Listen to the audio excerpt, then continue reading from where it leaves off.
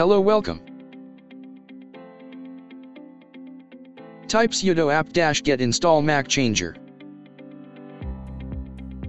I have already installed it but, it should download. Type Mac Changer dash dash help to see the help for Mac Changer. These are all the command you can use in Mac Changer, but you have type Mac Changer then the command then the network card of your choice. Type Mac Changer dash s eth0 to show MAC address of your network card. This is your current MAC address and permanent MAC address the permanent address won't change only the current will change. Type sudo mac changer a eth0 to change your MAC address to a random one. Now you have changed your MAC address to a new random MAC address. Type mac changer s eth0 to show MAC address of your network card. You can see your current MAC address has changed to a random one, but your permanent MAC address won't change, but your current will show in your network.